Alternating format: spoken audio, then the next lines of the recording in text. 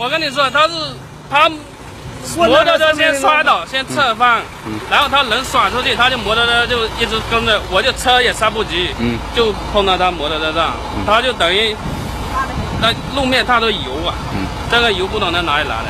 那一部车也是，他他他也就方向打过那边。哪一部车？他后面那一部货车，嗯，他也是后面他也刹不及，就他方向打过那边，你都没撞过他。当时是情况是怎么发生的？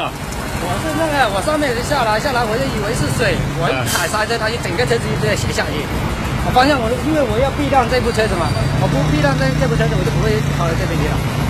而避让这部车子，我方向一那个回过来了都没有，直接前后刹车就是那个。是什么原因造成的？就是那个路上的油啊。嗯，这油是哪里来的？油我也不知道，而且我那边下来的时候都满地都是油，我以为是水。我弄弄弄弄得这样子，整个路都这样子。那你当时是怎么摔倒的？就是前端一滑，就是全整部车就就倒掉了。倒下来。就那个油。现在摩托车换好几步就走了，摩托车起码换三四步了就走了。现在交通就这样子了，你看。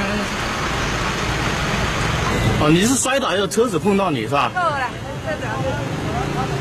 哎，摔了很多人呐，这里全部有了。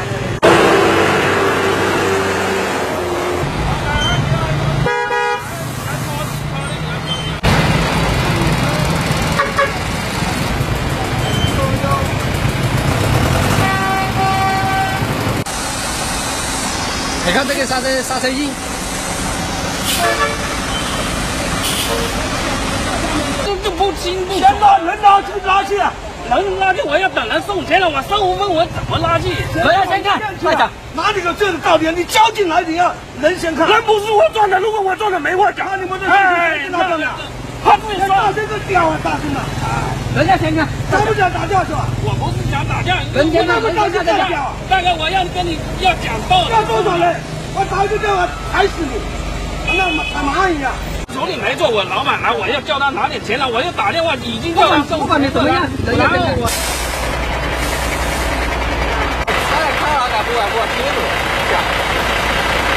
估计是什么油呢？我估计是可能花生油这些，啊，或者是柴油什么的，这样这个油箱或者油箱漏掉什么的。